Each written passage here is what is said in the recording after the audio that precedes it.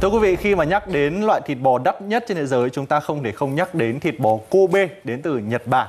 Một trong lý do thịt bò này đắt như vậy lên đến vài triệu đồng một lạng. Vâng. Vì, bởi vì là loại bò này ở Nhật Bản sẽ được uh, chăm sóc bằng một chế độ dinh dưỡng rất đặc biệt, thuần về cỏ. Bên cạnh đó sẽ được massage bằng rượu trắng. Chị Linh ừ. đã nghe thấy bao giờ chưa? Bò được massage và bên cạnh đó một điều rất đặc biệt đó là bò được nghe nhạc cổ điển thưa quý vị để giúp chúng thư giãn hơn, thoải mái hơn. Và đấy thưa quý vị, bò nghe nhạc chúng ta rất là quen rồi đó nhưng mà chuột nghe nhạc thì sao đây chị Hoàng Linh?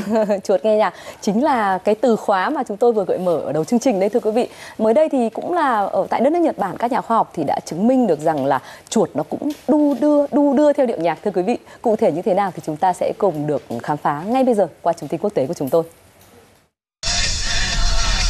Chuột cũng có thể đu đưa theo các bài hát giống như con người. Đó là phát hiện mới đây của Đại học Tokyo, Nhật Bản các nhà nghiên cứu đã cho những chú chuột thí nghiệm mang các bộ cảm biến để theo dõi cử động, sau đó phát nhạc cho chúng nghe. Họ nhận thấy chúng có khả năng cử động cơ thể theo đúng nhịp bài hát với các nhịp độ khác nhau. Các nhà nghiên cứu tin rằng khám phá này cung cấp những hiểu biết sâu sắc về tâm trí động vật. Họ đưa ra giả thuyết rằng tất cả các loài động vật đều có các phản ứng tương tự theo điệu nhạc và âm nhạc không chỉ tác động đến hệ thính giác mà còn ảnh hưởng đến hệ vận động.